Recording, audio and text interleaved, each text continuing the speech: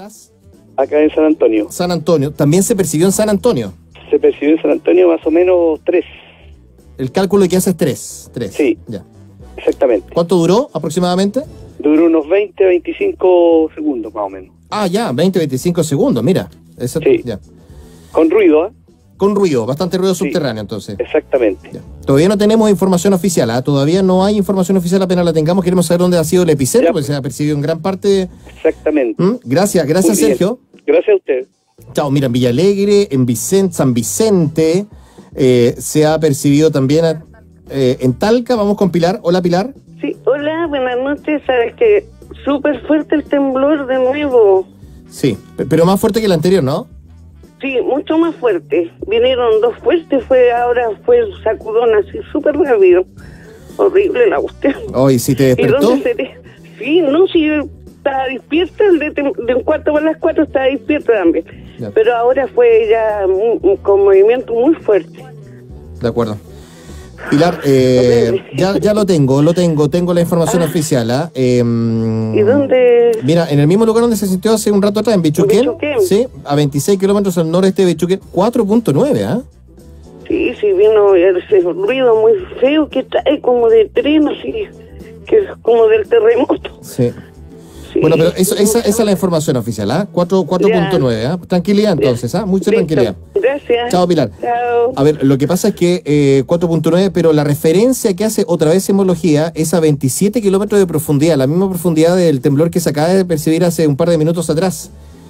Y que fue recalculado por lo demás. ¿ah? ¿Se recuerdan ustedes que fueron varios los que nos llamaron por teléfono cerca de las 3 de la mañana con 43? No, cerca, a las 3 con 43 fue el de Bichuquén que fue recalculado y quedó en 3.9. Y el de ahora, el que se acaba de percibir, pero que se ha sentido incluso en Santiago, lo percibimos acá, eh, lo percibimos acá en Santiago, eh, a las 4 de la mañana con 16 minutos, a 26 también, a 26 kilómetros al noreste de Bichuquén, 4.9 y la profundidad también indica que son 27 kilómetros de profundidad. Alejandro, ¿dónde estás? Buenos días. En Curicó, Don Rolo. ¿Cómo se percibió en Curicó, Alejandro? Eh, fuerte. Soy el joven no vidente que trabaja en la radio. ¿Usted se acuerda de mí cuando vino acá? De acuerdo, sí, sí, cómo no, Sí. Alejandro. Sí, estaba durmiendo con mi mamá y fue fuerte igual. Eh, pero gracias a Dios estamos bien y igual eh, usted sabe que Chile tiembla siempre. De acuerdo. Y que tenga buen día y lo felicito por su programa y altas bendiciones para usted, Rolo, y para Casilda y para su programa. Un abrazo, gracias, cuídate. Listo. Chao, Chao, chao. Chao, que esté muy bien, ¿ah? gracias. Bueno, eh, esta es la información, ¿ah? esta es la información, la tenemos por ustedes primero. eh, nos han escrito de... En Mayoda se sintió. En Talca fue fuerte. En Curicó se percibió, me han escrito muchos autores de Curicó.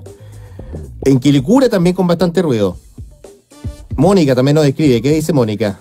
Fuerte en Curicó, fuerte y largo, dice. En también. En Rancagua. Sí, eh, gracias Cristóbal. ¿ah? Estamos trabajando siempre en biobiochile.cl. Siempre la información la tenemos allí. Eh, 4.9 entonces, reiteramos, a 27 kilómetros de profundidad. La referencia, 26 kilómetros al noreste de Bichuquén. Esa es la información hasta ahora oficial. ¿ah? Esta, esta es la información oficial, no ha pasado a mayores, ha sido un remesón.